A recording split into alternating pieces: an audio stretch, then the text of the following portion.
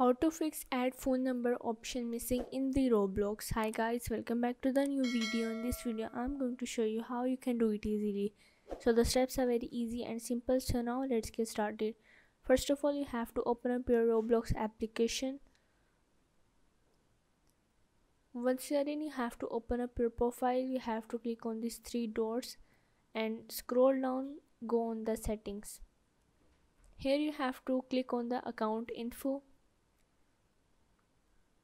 now once you're in as you can see here is only the option of the email address and not and it is not showing the phone number. What you have to do is first step is you have to change the birthday year.